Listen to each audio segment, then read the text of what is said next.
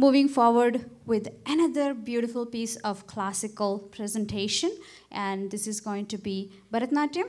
Yes. And uh, so we are really, really excited, and because every single participant is giving so much of a uh, beautiful performances with a different style, and it's really, really rocking. Uh, let me introduce this participant, and uh, let us see what we are going to enjoy today. So let's see what's her registration number is. My registration number is 1200. All right, 1200 is going to be your lucky number. And let's see, what are you going to perform? Today I'm per- gonna perform Bharatnatyam. Bharatnatyam. And uh, so, what is the name of the song? That what exactly are you performing in a I'm Bharatnatyam? gonna I'm gonna perform Sri Gananatha. Mhm. This dance is about Ganesha. Okay, Lord Ganesha. Yes. So, what is this? Is this are we worshipping Lord Ganesha through this dance? Yes. All right, so this one is definitely we are going to be doing the devotion. Am I right? Yes. All right, so I would like to wish you all the best. Thank and you. Stage is yours. Thank you.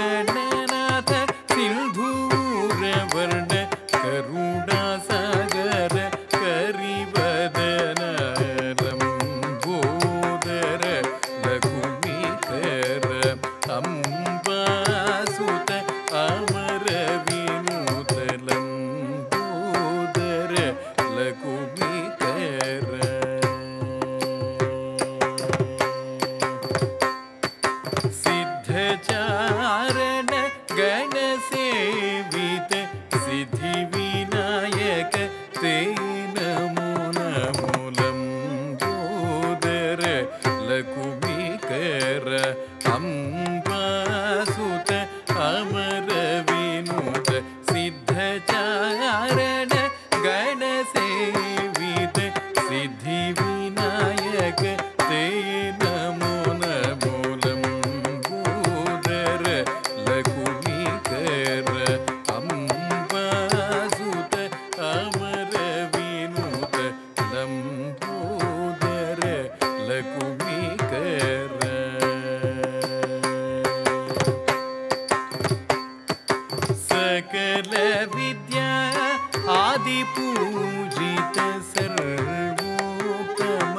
They